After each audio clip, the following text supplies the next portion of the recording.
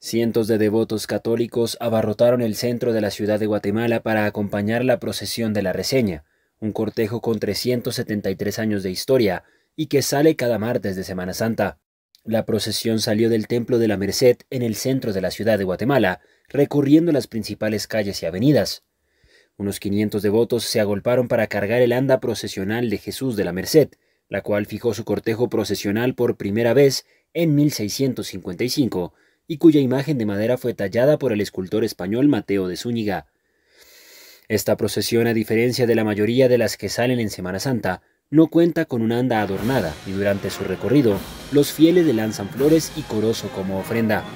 Familias completas que viven en la vecindad de la iglesia de la Merced adornaron las calles del recorrido de la marcha fúnebre con alfombras hechas de acerrín, hojas de palma, rosas, frutas y otros materiales orgánicos.